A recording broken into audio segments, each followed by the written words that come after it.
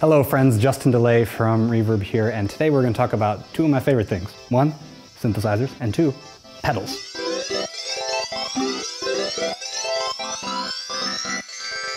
Okay, one quick disclaimer, and we've discussed this in previous videos.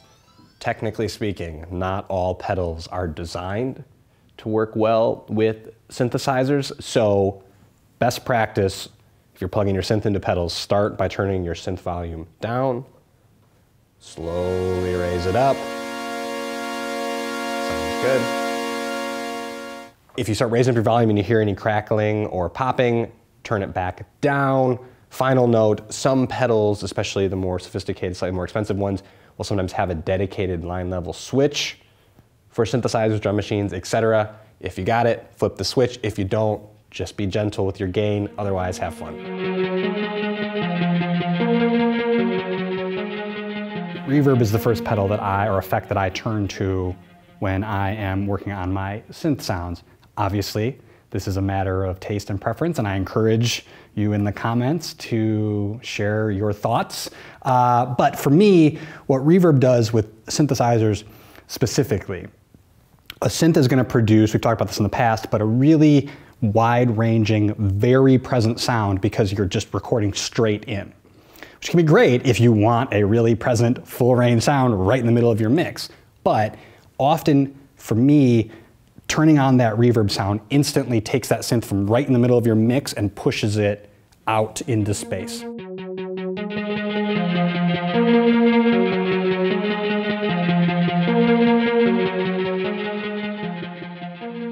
So right away, you can just hear that very super basic square wave synth sound becomes this big open vibe just by turning on this Wampler pedal. This is a spring reverb. I think of it more as a character reverb. It, it, it kind of imposes more sound and more tone to your original synthesizer sound. I love it on synth, again, because of that character.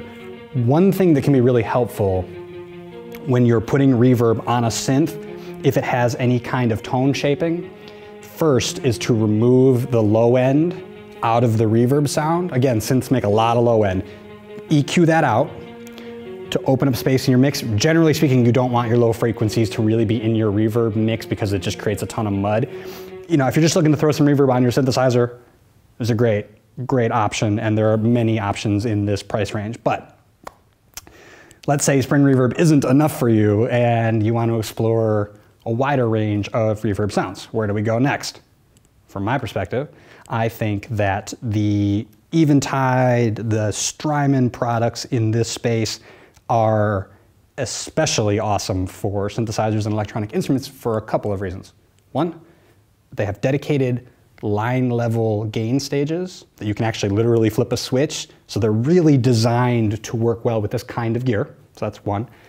And then two, if you're really getting into this stuff, these pedals have MIDI in and out.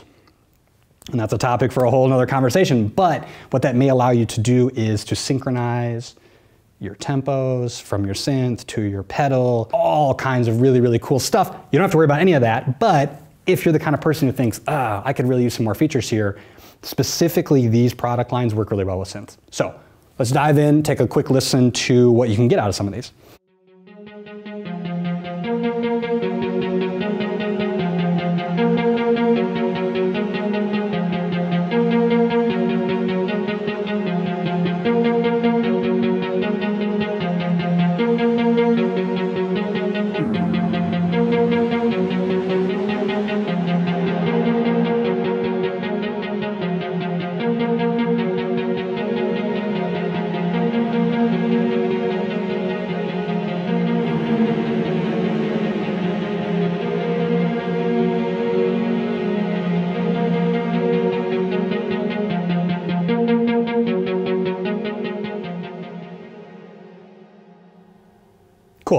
So that is a that's a shimmer uh, reverb effect. You can find that in, in many different pedals, and it adds that. If you can listen to it, it adds that shimmer to the high range frequencies, which I really really like using specifically shimmer style reverbs on more simple bass patches because it's almost like almost like you're getting a little bit of extra frequency range, frequency content, It's almost like you're kind of adding, not, I'm not say an oscillator, but you're adding a little bit extra up on the top and can just be a really, really nice way to kind of fill in a more basic kind of focused synth sound. So we've listened to spring, we've listened to more of an algorithmic reverb with the shimmer. Let's listen to what a plate reverb sounds like.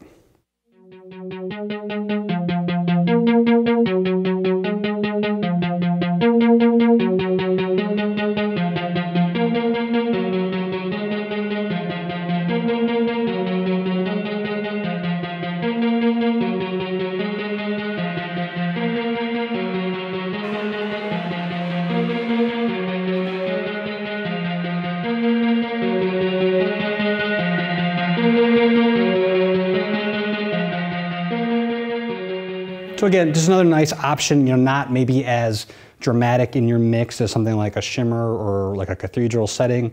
Um, sounds great. This, this patch was apparently designed for guitar to replicate a plate reverb. Sounds beautiful. One more wild sound that I just found, it's called Continuum, and I believe that it's a reverse reverb. So let's take a listen to what that sounds like on a sequence.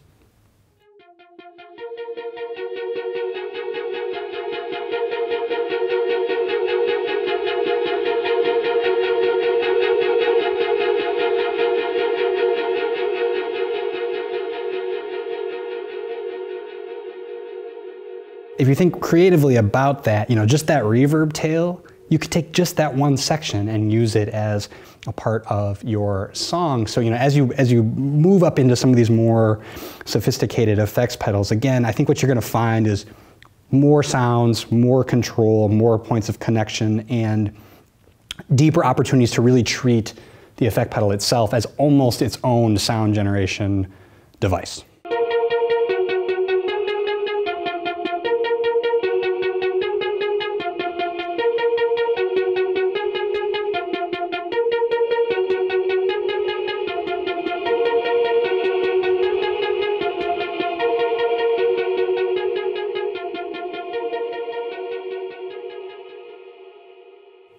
Okay, I'm a sucker for any kind of choral sounds, whether they come from a synth or from an effect. So right away, I love that. And again, just to make this point again, this is just a really, really simple way to add all this extra color and complexity to your sound right from a preset. So let's keep going. Here is a preset on the Strymon that uses both reverb and delay, which is something, you, again, that you're gonna find on uh, slightly more expensive pedals, the, the two uh, reverb plus delay effects put together.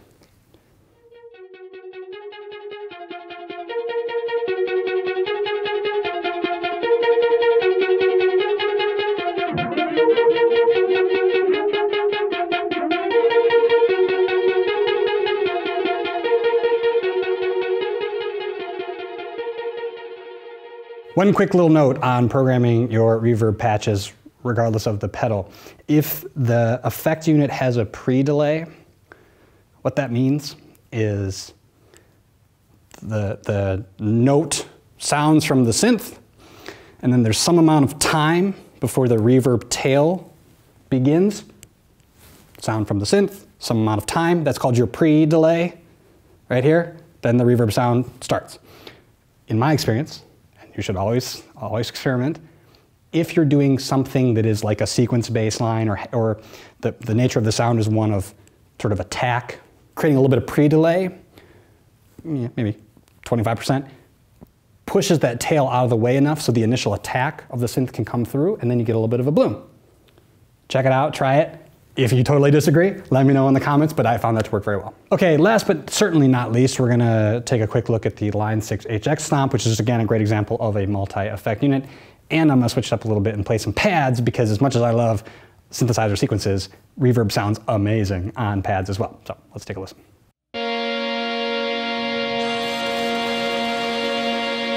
Stable.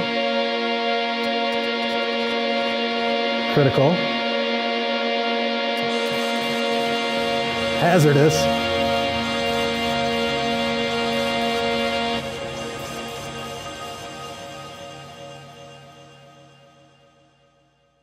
All right, now let's talk about delay pedals. So first things first, from a sound design perspective, uh, a lot of the same ideas and approaches that we talked about for reverb uh, can be applied to delay. You know, it's an excellent way to create space and position a sound in your mix.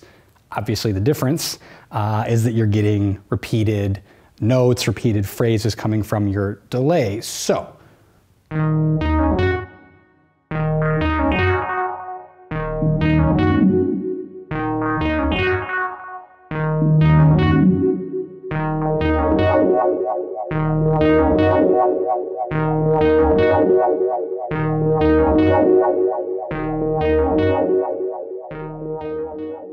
Cool. So, I mean, right away, you know, it's delay. You've heard this many, many times. The Line 6 is a modern classic in the world of delay pedals. Takes a line level signal really well, has stereo outputs, tons of different sounds. So let's flip through and just listen to some different kinds of delay. Okay, so this is a great example. So this is digital delay, which means it's gonna be a pretty full frequency. It's basically gonna take and repeat whatever you play into it with modulation. So if you're a pedal head, you may remember the Electro-Harmonix Deluxe Memory Man that has chorus, vibrato kind of features. Basically, it's just adding um, pitch variation to those uh, to those repeats, a little more color, a little more character. You can think of it kind of like a tape echo uh, sound, if you will. So again, a little more character and interest there.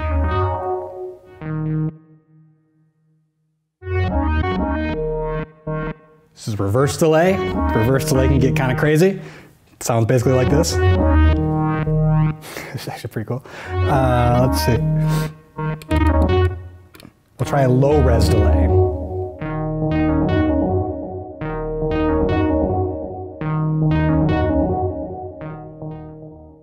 So let's pause there for a quick moment. Again, my opinion, but I really like using more analog style or lo-fi style delays on synthesizers because when you have a delay tone that is more analog in nature, and what that usually means is it has like less high end on it, it sounds kind of dull and muffled, it can really help the listener understand those bright parts are my synth and then those kind of duller echoes are my delay and create a nicer separation between the two. All right, now we're gonna take a look at the Chase Bliss Thermae analog delay. This is a more feature rich, slightly more sophisticated analog delay. Chase Bliss is a, you know, a modern pedal maker, a lot of great stuff. Let's take a listen.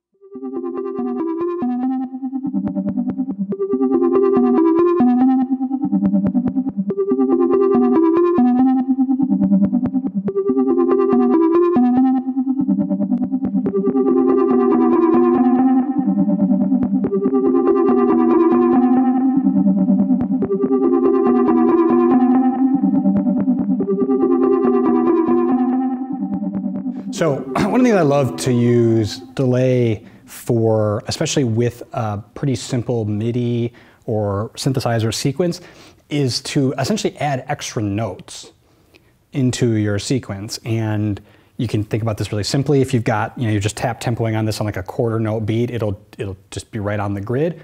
Or if you do more like three fourths of a beat as your time division, you can start to get um, off tempo or like uh, syncopated rhythms that can take something that feels very da da da da da and turn into da da da da da da.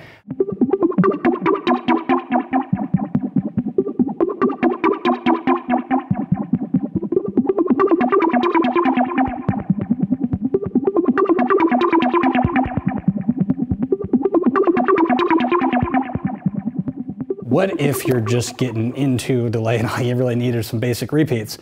A lot of great options, especially on the used market. One that, that I really enjoy is the Boss DD5 digital delay pedal. Pretty basic, not really any um, standout features in terms of the tone, but what it has that I really love is you can plug in um, external foot switches and tap the tempo and just plug that right into the pedal uh, in a really, really simple way. So you know, you're jamming on your synth and you can just be with your foot banging out the song tempo. They go for under 100 bucks. It's a really great way to get started. Again, multi-FX unit, we dialed in some delay here. This is just a simple delay. So we're going to do a similar thing and take a listen.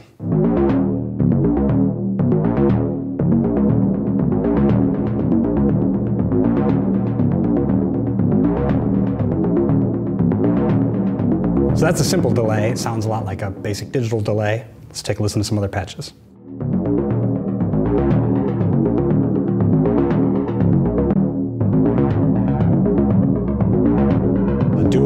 There are two different delays running. Four different delays running. six different delays running.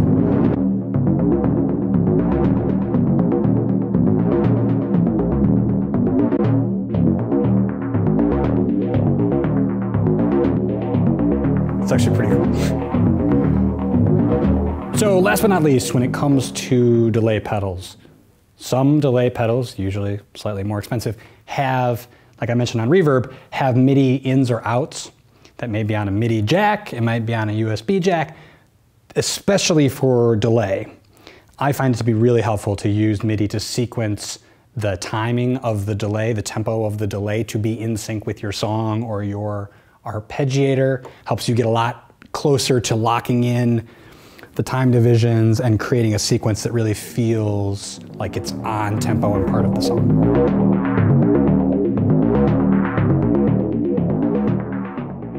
Okay, chorus. Chorus is one of my favorite effects on synthesizers. Harkens all the way back to the original Roland Juno series that had a built-in, really classic chorus. Awesome for creating motion and depth in your sounds. I love chorus so much, in fact, that the first time we went to shoot this video, I accidentally left the line six chorus on the entire time.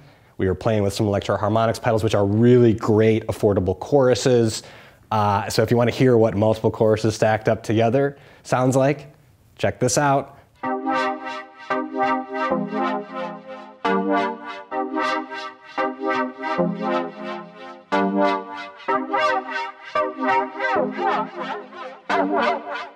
Otherwise, we're gonna take some of the cool pedals we found here in the office today to give you a flavor for what chorus can sound like on your synth. Okay, we're gonna start with the classic Boss Chorus CE2. A little bit of synth trivia for you. Apparently, this analog chorus circuit inside of the CE2 is a pretty close replica of the chorus that can be found inside of the vintage Roland Junos.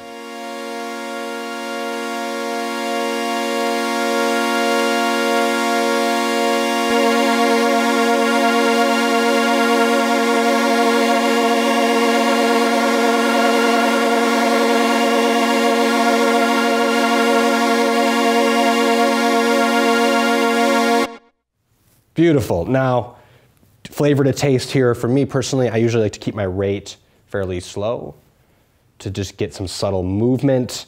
I usually keep the depth all the way up. But of course, half the fun of the chorus is cranking up the rate. So let's take a look at a couple more uh, sophisticated choruses to see what we can get to when we start to push the envelope a little bit. Okay, now we're gonna check out the Old Blood Noise Excess.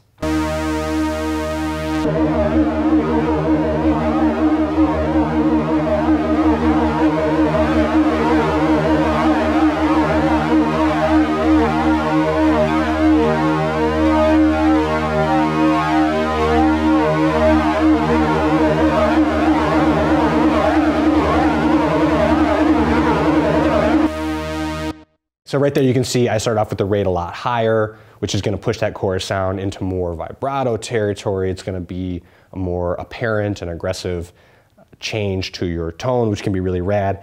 The Old Blood has a lot more features to shape the tone, which can be really, really cool. So let's keep going and we're gonna check out the Keeley mod station.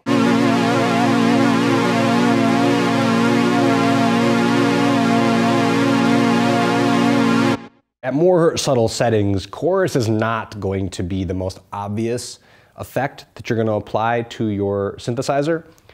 When you're thinking about effects, chorus can take a really simple synth sound, something maybe like a synth bass line, and can just add a little bit more width, space, and depth and color to really place the synth in your mix.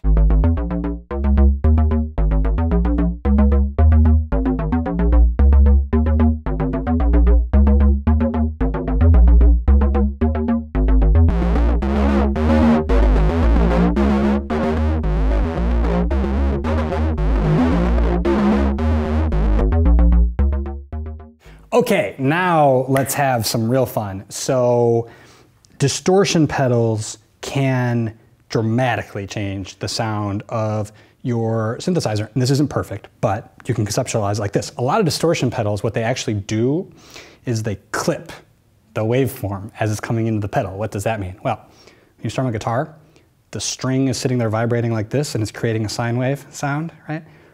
What a distortion pedal will do is it'll take that sine wave and it'll actually cut off the curve at the top to make it more like a square wave. So when folks are talking about upper order harmonics, even harmonics, odd harmonics, and all that harmonic richness that comes from an overdrive, what they are actually saying is they're saying that they're taking the sound, the waveform, clipping it, and adding in those like square wave harmonics. So the world of synthesis and pedals, it's all the same thing eventually if you look at the waveform.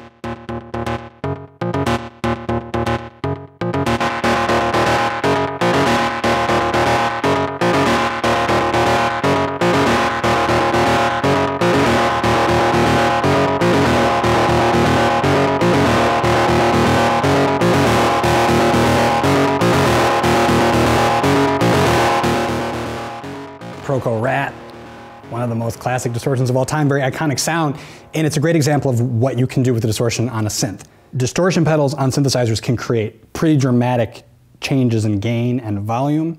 So the old turn it down, slowly turn it back up trick definitely applies here. When you take all that content and you put it into a distortion pedal, you're gonna create a wall of sound. So shaping your tone removing some of that harsh high end, maybe filtering out some of that kind of rumbly low end is really, really important when you're using distortion. So as you're looking at the range of options, one, obviously you're looking for the distortion tone that you like, but two, keep an eye out for extra tone shaping controls. So with that in mind, let's actually dive into these two and really play with the tone shaping that they offer.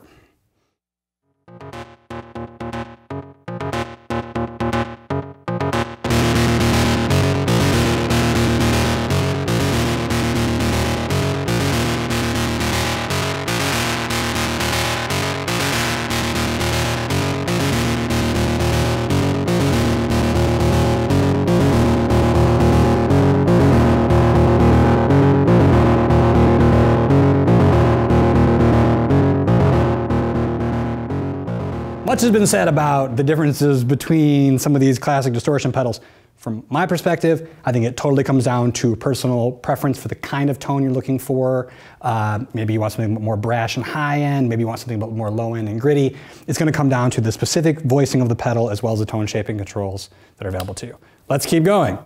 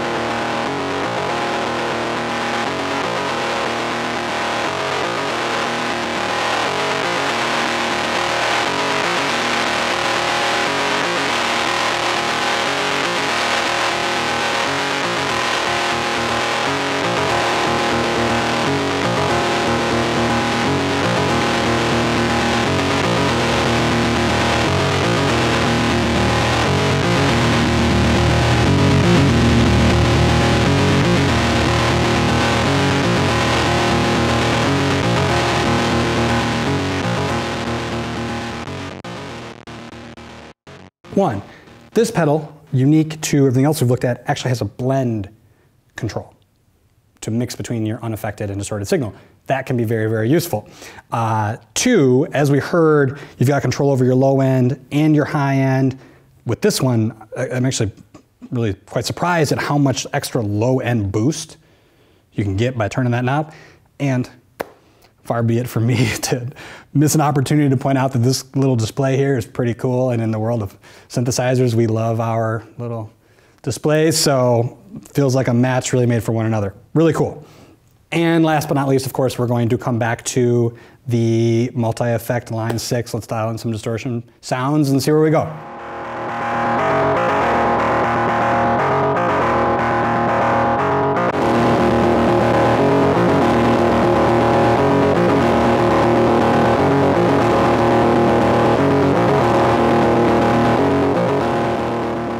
Next we are going to take a listen to phasers, and for this one we actually have a fully stereo signal chain so you can really hear how a phaser will take your synth sound and kind of move it around the stereo field.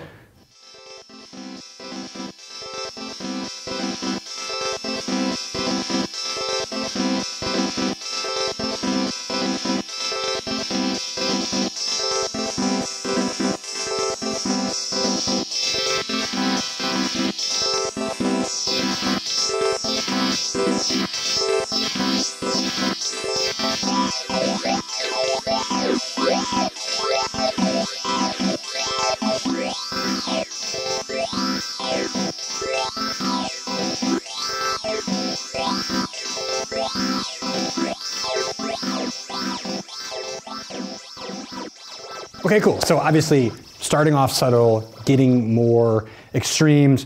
There are a couple different ways to think about using a phaser on a synth. I tend to use them as more of a slow, uh, a, a, slower speed, usually a little less feedback, so the, the sound is a little less uh, overt, especially for things like sequences that just kind of repeat. Some phasing can be a nice way to add motion. But of course, as we heard, as I flipped through those various settings for this TC Electronic, a more aggressive phasing sound might be exactly the sound that you're looking for. So let's just keep going.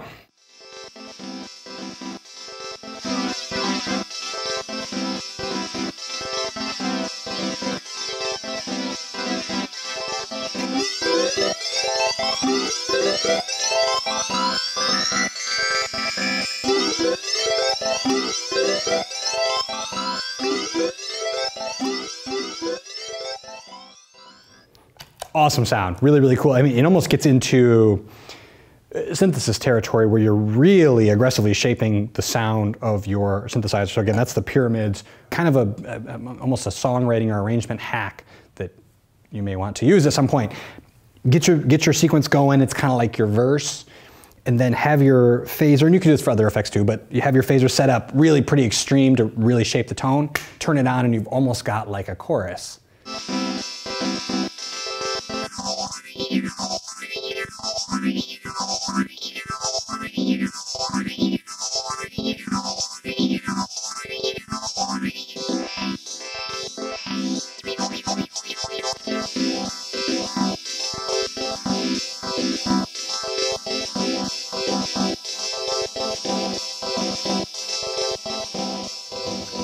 Nice, that's kind of like an old MXR phase 90 right there, a script phase.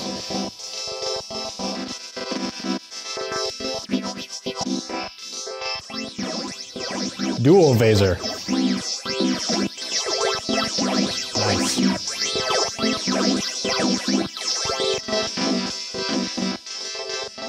And a little bit of univibe action just to bring it home.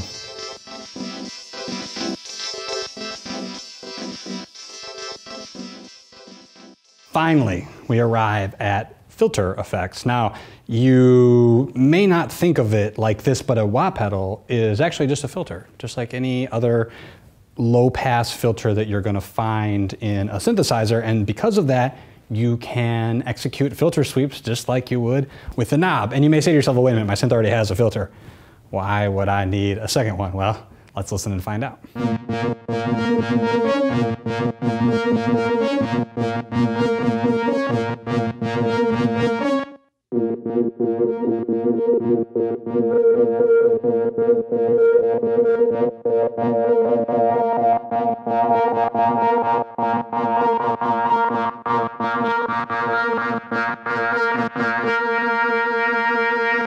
So, you know, just executing a manual filter sweep here.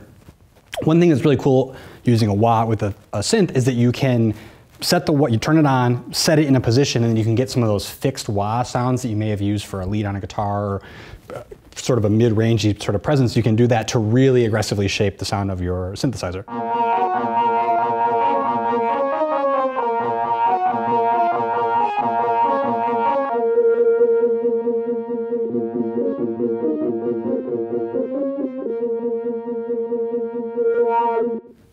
Of course, if you're very coordinated, you can simulate more of like a real-time wah effect by playing and coordinating with your hand.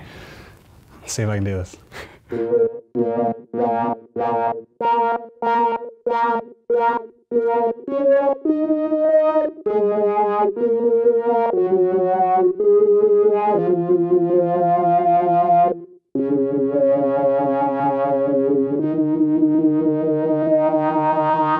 Wah pedal is a filter that can be applied as an external effect. We can also go back into the world of synthesis and visit the Moog line of pedals. So this Moog is actually the same filter circuit that Bob Moog designed and patented for his classic vintage Moog line. And it's actually a really cool opportunity then to answer the question of what does a Korg sound like through a Moog filter? So let's find out.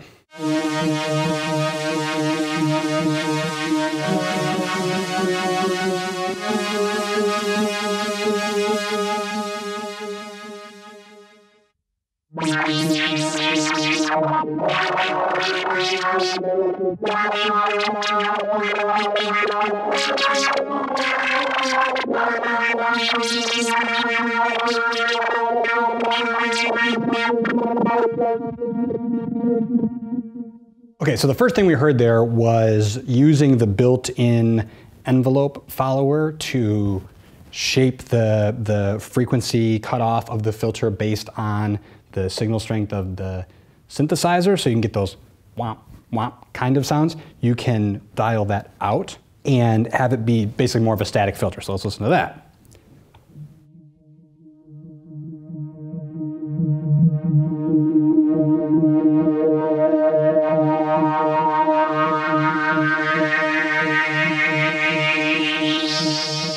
That's the two pole, which is going to be a more subtle roll off of the high end. We'll check out the four pole.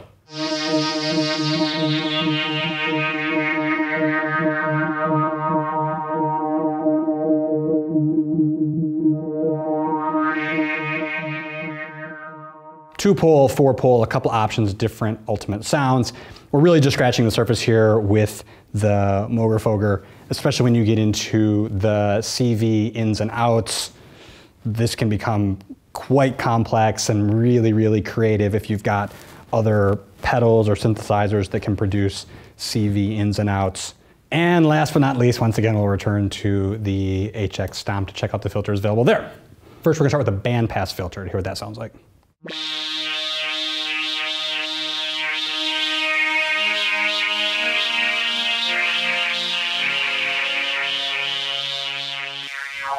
High pass filter.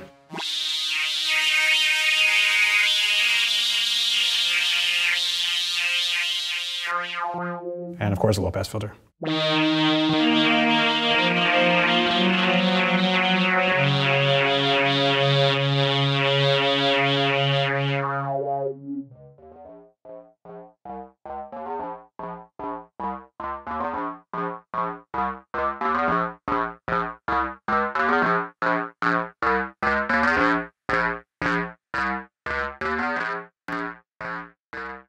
So before we go, we thought it would be fun to scrounge around the office here and find some of the more colorful and characterful pedals here uh, and plug them all in and just start jamming around and see what happens.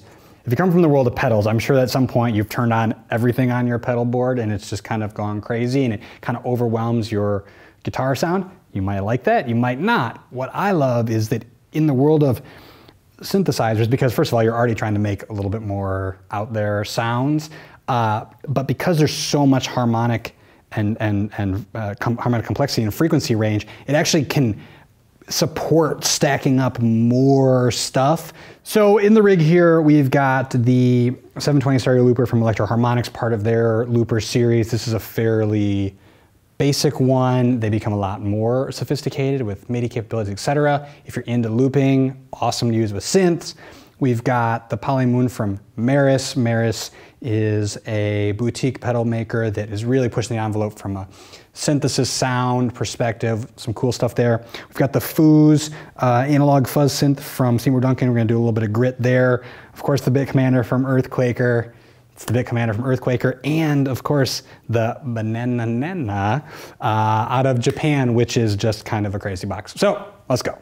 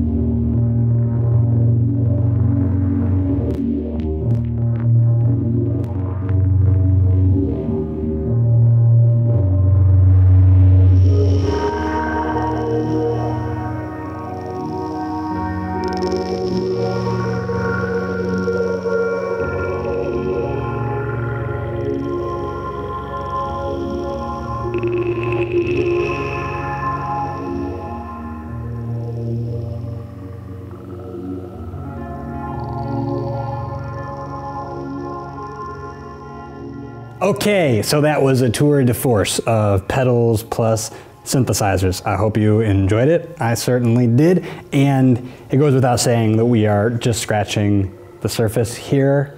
Uh, this is a deep topic. And if you have advice for folks or you have questions, please, please, please drop them into the comments. We're always paying attention. We'd love to keep the conversation going about cool opportunities to, or surprising combinations of things. Let's get stuff plugged in and make some crazy noises. Thank you so much. I am Justin DeLay from Reverb.